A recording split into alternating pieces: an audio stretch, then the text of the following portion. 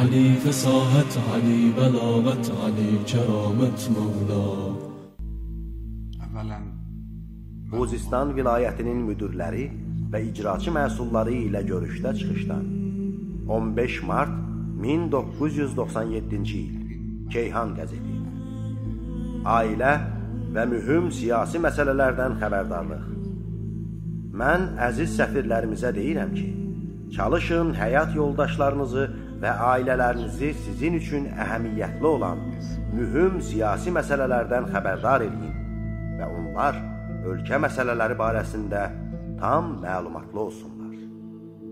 Səfirlərlə görüşdən 27 avqust 2000-ci il İslam Cümhuriyyəti qəzeti 6-cı fəsil Qadınların təlim tərbiyəsi Qadınların elmi və mədəni inkişafına şərait yaradılması Qadınların əsl İslam mədəniyyətindən bəhrələnməsi Sual İslam cəmiyyətində qadınların istedadlarının çiçəklənməsi istiqamətində hansı mədəni və rifah işləri görülməlidir? Cavab Birinci növbədə əsl İslam mədəniyyəti yayılmalıdır. Bu zaman təbii olaraq qadınlar da bu neymətdən bəhrələnəcəklər. Qadın Günü jurnalının xüsusi buraxılışı ilə müsahibədən 25 aprel 1981-ci il. İslam Cümhuriyyəti qəzeti. Qadınların İslam təlimləri ilə tanışlığının ölkənin inkişafındakı rolu. Əgər ölkə qadın toplumunu İslam təlimlərinə arxalanmaqla İslamın istədiyi təlimləri ilə tanış eləyə bilsə, mənim şübhəm yoxdur ki, ölkənin inkişafı, tərəqqisi və ucalması qat-qat güclənəcək. Qadınlar məsuliyyət hissi ilə hansı meydana qoşulsalar, o meydanda inkişaf bir neçə qat artıq olacaq. Xanımların müxtəlif meydanlarda iştirak etməsinin xüsusiyyəti budur ki, ailənin qadını meydana qoşulduqda həm kişi, həm də övladlar meydana qoşulurlar.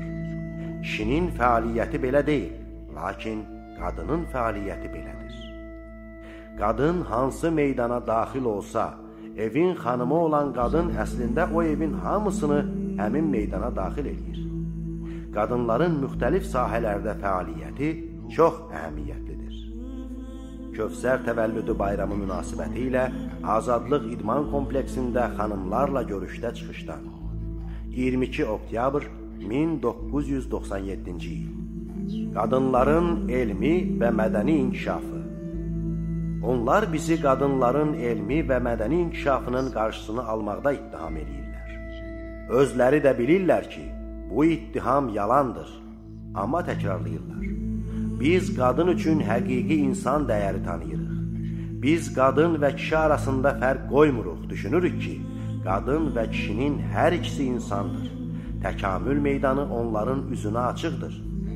Nə qədər çalışsalar, nə qədər zəhmət çəksələr və nə qədər Allaha sarı irəliləsələr, bir o qədər inkişaf edəcək və kamilləşəcəklər. Elm və siyasi fəaliyyət yolu da onların hər ikisinin qarşısında açıqdır. Xalqın müxtəlif təbəqələri, həkimlər, felçerlər və ölkənin ali tibbi təhsil mərkəzlərinin işçiləri ilə görüşdə çıxışdan. 6 dekabr 1989-cu il Qadınların istedadlarının inkişafı üçün sağlam şərait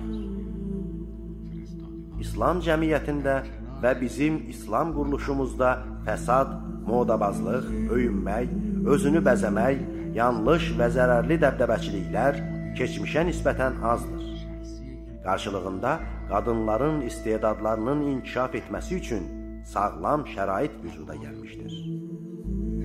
Ölkənin mütəxəssis qadınları ilə görüşdə çıxışdan 30 noyabr 1993-cü il Keyhan qəzeti Mətanəti qorumaqla qadının müxtəlif sahələrdə fəaliyyəti İnqilabın sayəsində İranlı qadın çox yaxşı yola çıxmışdır. Bugün İranlı qadın elm meydanına daxil olub elmi dərəcələr qazana bilər. Eyni zamanda müsəlman qadının dinini, iffətini, təqvasını, vüqarını, mətanətini, şəxsiyyətini və hörmətini də qoruyur. İndi sizin bu toplumunuzun arasında nə qədər qadın tələbələr, müəllimlər və alimlər var. Həmçinin qadın dini elm və məlumatlar meydanına da qoşula bilər. Halbuki yolunda heç bir maniyə olmaz. İndi sizin aranızda dini elmlər tələbələrindən, müəllimlərindən olan çoxları İslam fiqhi və dini baxış sahəsində təhsil alırlar. Böyük imamımız da bu məsələyə çox əhəmiyyətli yanaşırdı. Buna görə də Qum müəssisəsinin təsis olunması fərmanını verdi. Bugün qadın bizim ölkəmizdə siyasət meydanında, siyasi, ictimai fəaliyyətlərdə, cihadda, xalqa və inqilaba köməkdə və müxtəlif fəaliyyətlərdə öz mətanətini, vüqarını və İslam hicabını qorumaqla öz şəxsiyyətini göstərə bilər. Tehran, Təbriz, İsfahan, Kerman və Qum şəhərlərinin qadınları ilə görüşdə çıxışdan 16 yanvar 1990-cı il Qadının yaranışına uyğun olan müxtəlif sahələrdə istedadların üzə çıxması Bugün cəmiyyət, universitetlər və incəsənət mərkəzləri bizim gənc qızlarımız üçün təhlükəsiz yer sayılır.